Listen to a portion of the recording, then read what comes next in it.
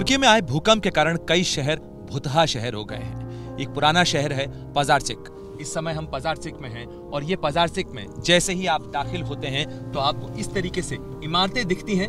ये इमारतें खड़ी ज़रूर हैं, लेकिन ये इमारतें इस समय जर्जर हो चुकी हैं, खंडहर हो चुकी हैं और ये खाली इमारतें हैं।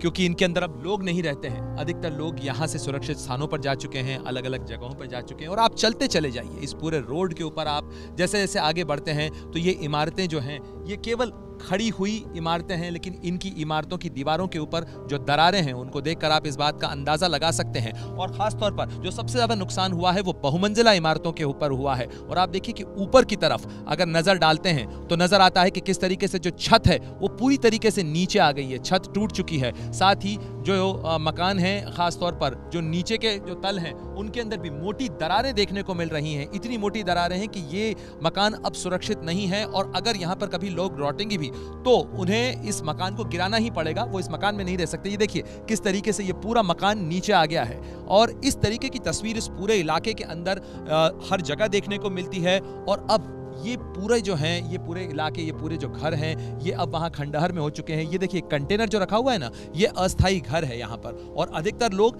इस समय जो रह रहे हैं या आप इस सड़क पर चलते चले जाएँ तो लोग यहाँ पर टेंट में रह रहे हैं, तंबुओं में रह रहे हैं। इस तरीके से उनके लिए जो सामान आ रहा है, क्योंकि उनके अपने घर जो हैं, वो अब घर नहीं रहे हैं, बल्कि खंडहर हो गए हैं। और उन खंडहरों में अब डर लगता है खास तौर पर आफ्टर शॉक्स का जो डर है। और यहाँ जितनी दूर नज़र डालिए, आसपास आपको इस तरीके के खंडहर और वीरानों की तस्वीर देखने को मिलती है। इसी तरीके से हर जगह ये बाज़ार जो हैं, जो कुछ समय पहले तक चहल पहल से, रौनक से भरे हुए थे, ये सब तमाम बाज़ार यहाँ खंडहर हो चुके हैं। जहाँ नज़र जाती है, वहाँ पर केवल सुनसान है, वीरान है और बर्बादी की ये तस्वीर नज़र आती है।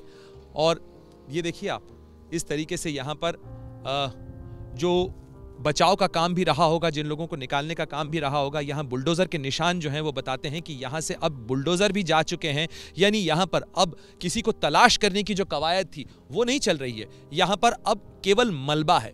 वो मलबा है लोगों के घरों का मलबा है लोगों का सामान यहाँ पर पड़ा हुआ है। आप देखें कि ये किसी का घर का सोफ़ा रहा होगा ये कालीन रहा होगा ये वो तमाम चीज़ें हैं जो कि कोई व्यक्ति बड़े चाव से बड़े अरमान से अपने घरों के अंदर बनाते हैं बसाते हैं लेकिन यहाँ पर मलबा और घर का सामान लोगों की ज़रूरत की वो चीज़ें लोगों की वो कीमती चीज़ें जो लोग आ, उसे शायद किसी को देना या साझा करना नहीं चाहते होंगे। वो इस तरीके से यहाँ बर्बादी में बिखरी हुई, पड़ी हुई है।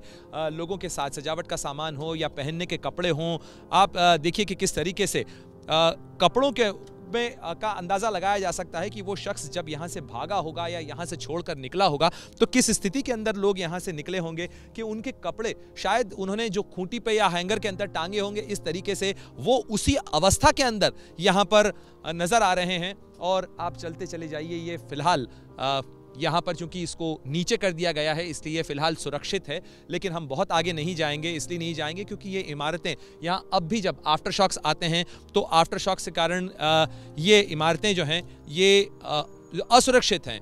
लेकिन आप देखिए कि इस तरीके से जो लोगों के घरों के सामान हैं, यहाँ पर किसी का वार्ड्रोब जो है किसी की अलमारी जो है वो शायद टूटी होगी और उस टूटी अलमारी का जो तमाम सामान है वो बिखरा हुआ है दरवाजे यहाँ टूटा हुआ पड़ा है। ये आप देख सकते हैं ये ये बर्बादी का मंजर है। ये आ, उन तमाम लोगों के लिए भी एक तरीके से नसीहत है, खासतौर पर जो लोग सिस्मिक जोन के अंदर, सेंसिटिव जोन के अंदर रहते हैं, यानी जहाँ पर भूकंप का खतरा होता है। उन भूकंप के खतरे वाली जगहों के ऊपर इस तरीके के निर्माण जो हैं, वो अपने आप में बहुत सारे सवाल उठाते हैं। सवाल इस चीज़ को लेकर भी उठाते हैं कि उन्नीस सौ निन्यानवे में भी तुर्की तर्की में इसी तरीके का भूकंप आया था। और उस भूकंप के बाद सरकार लंबे समय तक लोगों से टैक्स लेती रही। साथ ही यहाँ पर इंश्योरेंस होता है। यहाँ पर मकान का, घर का इंश्योरेंस होता है और उस इंश्योरेंस के बिना किसी भी व्यक्ति को बिजली का कनेक्शन और पानी का कनेक्शन नहीं मिलता है। ऐसे में बड़ा सवाल इस चीज़ को लेकर भी है कि ये इमारतें जिनके लिए पैसा लिया गया था, जिनको जिनको इस तरीके से बनाया जाना चाहिए था कि वो अर्थक्वेक रेजिस्टेंट हों, यानी अर्थक्वेक झेल सकें। लेकिन ये इमारतें के इमारतें भी जो हैं, वो इस तरीके से भरभरा कर ढह गई, इस तरीके से टूट गई। ये निश्चित रूप से यह व्यवस्था के लिए भी बहुत सारे सवाल हैं। ये इमारत जो है, इसके अंदर ऊपर से लेकर नीचे तक अगर आप नज़र डालें तो कोई बड़ा क्रैक या कोई बड़ी जो टूट है टूट फूट है, वो देखने को नहीं मिल रही है। यहाँ तक कि इसके अंदर शीशे भी लगे हुए हैं। इसके अंदर शीशों को भी बहुत नुकसान नहीं हुआ है। इसका मतलब है कि इसका जो कंस्ट्रक्शन है, इसकी जो कंस्ट्रक्शन क्वालिटी है, ये बेहतर रही होगी, क्योंकि भूकंप में सड़क के केवल इस पार की ये बिल्डिंग ढह गई इस तरीके से टूट गई और दूसरी तरफ़ ये जो सामने खड़ी बिल्डिंग है ये बिल्डिंग अभी भी खड़ी है। यानी यहाँ पर ये अच्छे कंस्ट्रक्शन और बुरे कंस्ट्रक्शन के बीच का भी एक नमूना इसका अंतर भी आप देख सकते हैं कि अगर अर्थक्वेक रेजिस्टेंट स्ट्रक्चर बनाया जाता है और इस तरीके से आ, एक बेहतर कंस्ट्रक्शन किया जाता है तो इस भारी भूकंप को भी, से भी बचना मुमकिन है और इस तरीके से संभव हो सकता है। लेकिन अगर कंस्ट्रक्शन क्वालिटी ठीक नहीं है, अगर निर्माण जो है भूकंप के इस इलाके के अंदर, जहाँ पर भूकंप इस तरीके से आते रहे हों, वहाँ अगर कंस्ट्रक्शन की क्वालिटी ठीक नहीं होती है, ज़रा सी भी चूक होती है तो वो चूक कितनी जानलेवा साबित हो सकती है और कितनी जिंदगियों को लील सकती है, ये उसका एक जीता जागता नमूना है जो आपकी नज़रों के सामने है। आप देख पा रहे हैं कि किस तरीके से यहाँ पर घर जो है वो टूट के बर्बाद होके और ये जो सरियों का जाल है, इसके अंदर जाने कितने लोगों के आशिया ने दफन हो चुके हैं। मेरे पीछे जो आप इमारत देख रहे हैं ना, ये महज कुछ मिनटों के अंदर ये इमारत भरभरा कर नीचे आ गई, इसके अंदर दस लोगों की मौत हुई है। और पूरे शहर के अंदर लगभग ऐसा ही हाल देखने को मिल रहा है और लोग अपने घरों को छोड़कर इस तरीके से टेंटों में रह रहे हैं, गाड़ियों में रह रहे हैं। जितनी घर, गृहस्थी, बस्ती, जो कुछ थी, वो फ़िलहाल इसी तरीके से सड़कों पर सिमटी हुई नज़र आ रही है। जिन घरों के अंदर हीटिंग सिस्टम काम किया करते थे, वो इस समय लकड़ी पर जलाकर इस तरीके से अपना खाना पका रहे हैं, टेंटों में रह रहे हैं उन टूटे हुए, बर्बाद घरों के अंदर से जो कुछ सामान निकाला जा सकता है, वो सामान लाने की कोशिश हो रही है कि किसी तरीके से ज़िंदगी के बचे कुचे निशान जो हैं, वो समेटे जा सकें। छोटे बच्चों के साथ में इस तरीके से माएँ हैं, बच्चों के साथ इस तरीके से वहाँ पर जा रहे हैं, किस तरीके से यहाँ रहने के लिए मजबूर हैं और छोटे बच्चे हैं।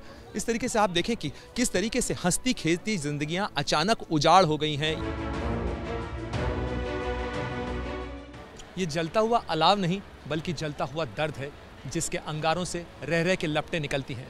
और ये लपटें लोगों के चेहरे पर आँसू की तरह बहती हैं, क्योंकि जिन लोगों ने अपने परिवार वालों को खोया है, इस इमारत के अंदर, जहाँ अब केवल मलबे का ढेर है छः लोगों की मौत इस इमारत के अंदर हुई। और अभी भी यहाँ पर जो काम चल रहा है, वो अब केवल उन लाशों को ढूँढने का काम चल रहा है। और इस बिल्डिंग में मलबे की तरह जो सब कुछ था, वो समेट दिया जा रहा है। परिवार के लोग अब भी यहाँ पर बैठे हुए हैं, केवल इस आस में कि शायद कुछ बच जाए, शायद कोई चमत्कार हो जाए। और उन चेहरों के ऊपर, उदासी है, उन चेहरों के ऊपर उस दर्द का मंजर है, जो बार बार उनके चेहरों के ऊपर नज़र आता है। वो बार बार ये बोलते हैं रोते हैं चीखते हैं चिल्लाते हैं और उस दर्द को बयान करने की कोशिश करते हैं। हालाँकि इस दर्द का कोई इलाज नहीं है। इलाज इसलिए भी नहीं है क्योंकि ये प्रकृति की मार है और एक ऐसी मार है जिसके आगे इंसान लाचार और बेबस नज़र आ रहा है। ज़रा आपको एक बार फिर दिखाने की कोशिश करते हैं कि ये पजारचिक शहर का वो आ, की वो इमारत है जो कि ढह गई। बताया जाता है कि तीन दिन पहले आए भूकंप में जब यहाँ से लोग निकल नहीं पाए तो करीब छः लोग इस इमारत के अंदर बंद रह गए थे यहाँ से निकल नहीं पाए और यहाँ पर अभी भी जो ऊपर हैवी मशीनरी आप देख रहे हैं, ये तमाम मशीनें जो हैं, ये स्लैब्स को हटाने की कोशिश कर रही हैं। यहाँ पर लोग इस जगह को नहीं छोड़ पा रहे हैं, खासतौर पर जो यहाँ रहते थे, जिनके घर यहाँ पर थे, वो इस जगह को छोड़ नहीं पा रहे हैं, वो इसी के आसपास बैठे हुए हैं। और ये तस्वीर किसी एक जगह की नहीं है। जहाँ जहाँ हम जाते हैं, जहाँ जहाँ हम देख रहे हैं, मुझे इसी तरीके की तस्वीर हर जगह देखने को मिल रही है। जो कटर्स हैं, वो लाए गए हैं, इस तरीके से हैवी क्रेन्स लाई गई हैं, उनके सहारे निकालने की कोशिश हो रही है कि छत के स्लैब हैं, और उसमें ही चमत्कार के बहुत सारे जो नमूने हैं, वो भी देखने को मिल रहे हैं। दो दिन बाद, तीन दिन बाद भी लोग इसमें से ज़िंदा निकल के आ रहे हैं, उन्हें बचाया बताया जा रहा है। तो यही वो कारण है कि लोग उस आस के अंदर यहाँ बैठे होते हैं। हालाँकि धीरे धीरे हर घंटे के साथ में बचाव करने वाले लोगों की जो ताकत है, उसके अंदर भी ये दर्द का की फांस लगातार चुभती है कि शायद अगर थोड़ी जल्दी आ जाते तो किसी की जान जब बच सकती थी। साथ ही जो लोग यहाँ पर बैठे हैं, उन्हें भी ऐसा लगता है कि शायद अगर कुछ जल्दी मदद मिल जाती, किसी तरीके से वो निकाल पाते अपने उन लोगों को तो शायद ज़िंदगी भर का ये दर्द उनके साथ नहीं रहता। लेकिन इसके आगे वो भी लाचार हैं, बेबस हैं। कैमरामैन मान के साथ प्रणय उपाध्याय, बाज़ार चेक, एबीपी न्यूज़।